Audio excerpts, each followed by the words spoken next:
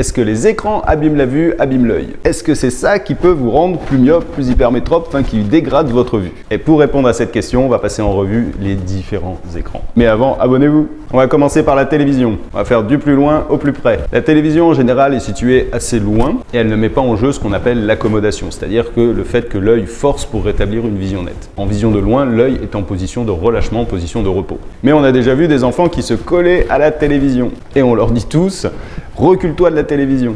Trop près, tu vas t'abîmer la vue. Alors c'est juste qu'un enfant, lui, il peut. Il a un énorme pouvoir musculaire au niveau de l'œil. Comme je l'ai dit dans une autre vidéo, à 20 ans, on a déjà perdu la moitié de cette capacité. Et alors, comme il a un énorme pouvoir d'accommodation, pour lui, ça ne le gêne absolument pas de forcer un petit peu.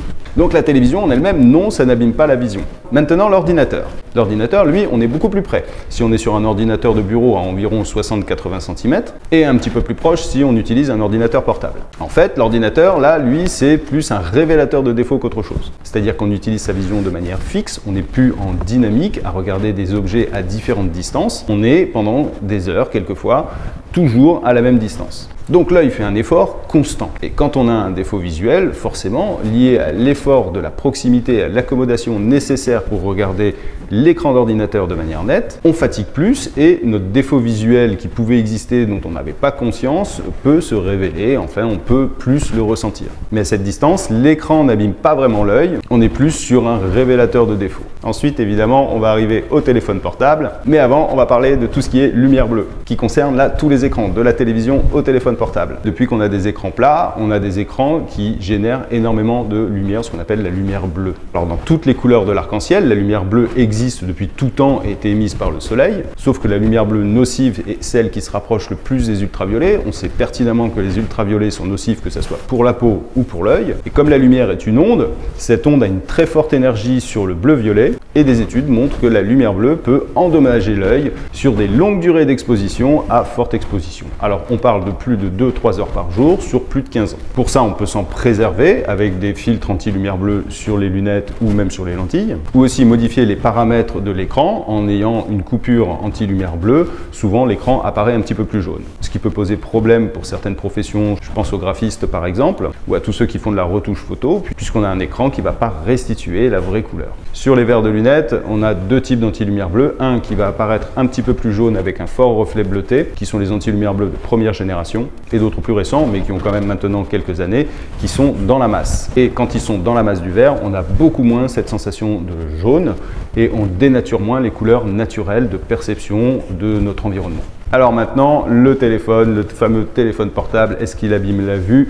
Oui et non. C'est pas une réponse de Normand, mais on va rentrer dans les détails. En fait, les téléphones portables, son écran, bah, c'est le même que celui de la télévision ou de l'ordinateur, à part qu'il est un petit peu plus petit.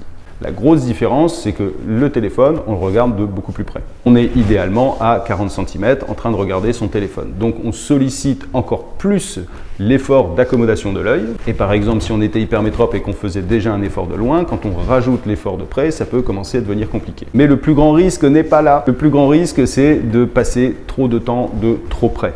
Si on regarde son téléphone scotché comme ça, surtout les plus jeunes, parce qu'ils peuvent, moi je peux pas, l'effort pour rétablir une vision nette va être beaucoup plus important. Et là, le risque, c'est de se créer de la myopie. L'œil qui fait du coup un effort important va, comme il est feignant, un œil c'est feignant, notre corps humain de manière générale est feignant et va chercher à faire le moins d'efforts possible. Et pour faire le moins d'efforts possible, l'œil va s'allonger de telle manière à être dans une position beaucoup plus de repos quand il est de près, de très près. Et ça c'est irréversible. Et donc c'est-à-dire que l'œil va se myopiser, va créer de la myopie parce que bah, si on passe 5-6 heures par jour sur un écran de très très près, il va trouver que sa position de repos va être euh, de faire moins d'efforts. Mais là, finalement, c'est pas l'écran en lui-même qui est dangereux, c'est la proximité. À la limite, un livre, c'est exactement la même chose. Et d'ailleurs, c'est pour ça qu'on disait que les intellos avaient des lunettes. Donc, pour éviter ce principe de myopisation de l'œil quand on est beaucoup de très près, déjà, ce qu'il faut, c'est garder à l'esprit d'avoir le coude à angle droit, de se mettre à environ 40 cm. La deuxième chose, ça va être de faire des pauses régulières. On applique ce qu'on appelle la règle des 20-20-20, c'est-à-dire 20 minutes de près pour 20 secondes à 20 pieds. 20 pieds, ça correspond à 5-6 mètres.